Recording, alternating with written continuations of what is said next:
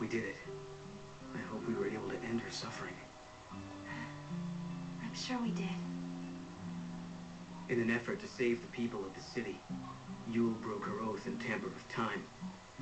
This caused a disturbance in the timeline, which led to the creation of a paradox.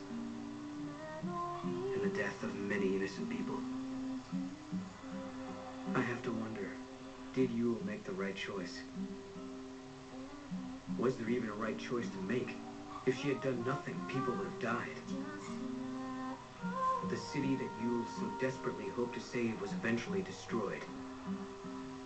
No matter what her decision, either choice would have eventually led to the death of the people of Paddra.